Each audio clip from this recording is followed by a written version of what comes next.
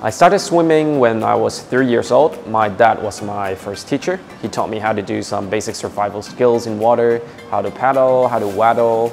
Um, not until five years old, I started learning swimming properly with a swimming teacher.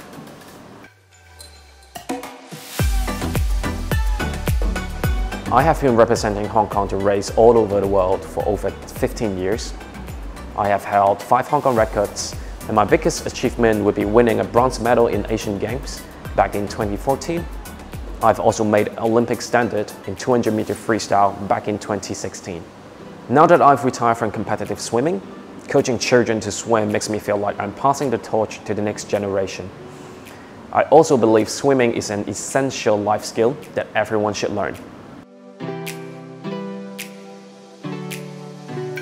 Our program focuses a lot on teaching children's correct swimming techniques rather than pushing them to swim a lot of distance in class.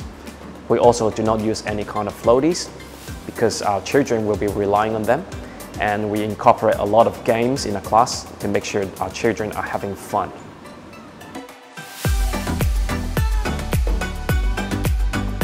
One to two years old is a very good starting point.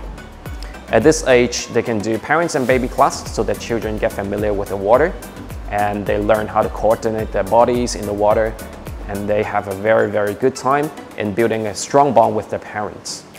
Building up water confidence at a very young age can definitely help children swim independently when they grow older.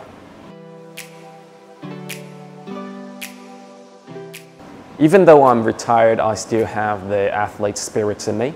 So I still do a lot of exercise to keep myself healthy and active.